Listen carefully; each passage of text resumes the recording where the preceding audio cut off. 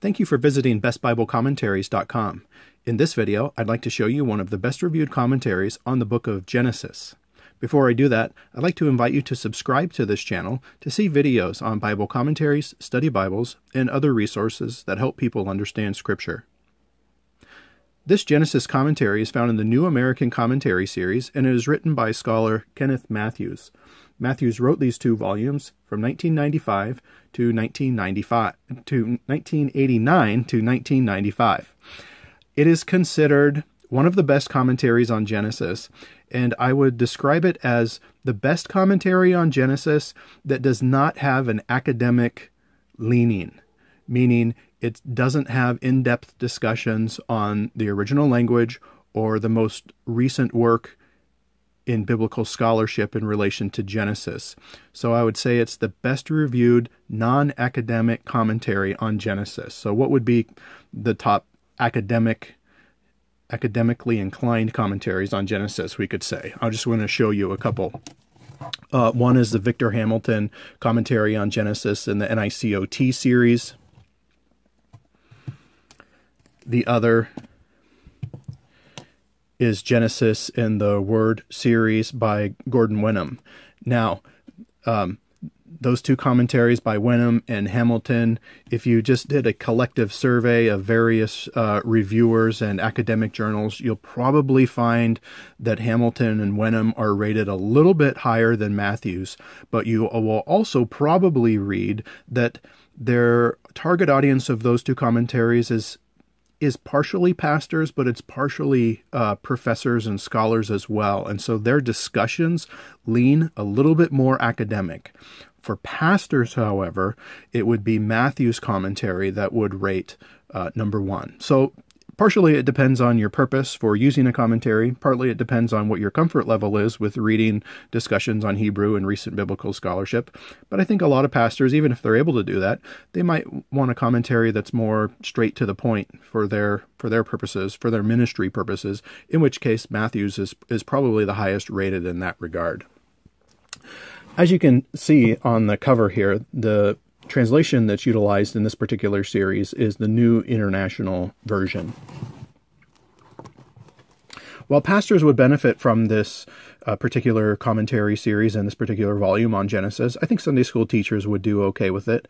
Bible study leaders and small group leaders, um, they would do fine with it too. I would say about all three of those groups, if if the person is new to reading Bible commentaries and resources on the Bible, perhaps this isn't wouldn't be the best uh, book to go to. But if someone can use uh, utilize a mid-level, um, intermediate level uh, commentary uh, that doesn't focus on the scholarship or on the Hebrew, then I think that this this commentary would be fine for them.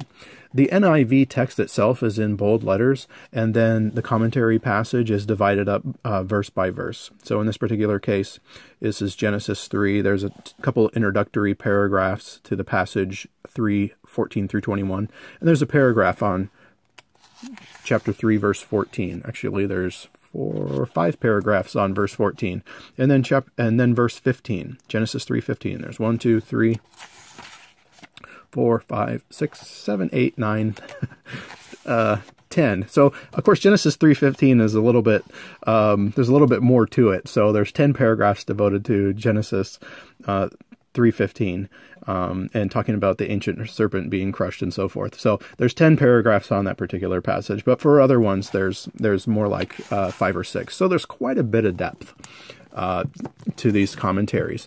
Um, as you can tell, they're not of equal size. This covers Genesis 1 through 1126, which is a natural division um, in Genesis, um, and then Genesis 1127 through 5026. So the origin of the universe and sin and the world and, and so forth and humanity in this particular section of Genesis. And then we have the patriarchal narratives in this section. So that explains um, why there's a difference in size. Now, a great thing about the New American Commentary series for this size of commentary um, and being hardback as well, it's one of the most affordable commentaries. So this this one, this one's quite a bit smaller. This this might be in the 20 $22 range would be my guess at the moment, and this might be in the 25 $28 range, somewhere around there. Obviously, that vary that can vary day by day, but generally that's that's the price range, which makes these really affordable commentaries. Other two volume uh, commentary sets on the book of Genesis might cost thirty or forty dollars a piece, um, and so that's one of the benefits of this particular series.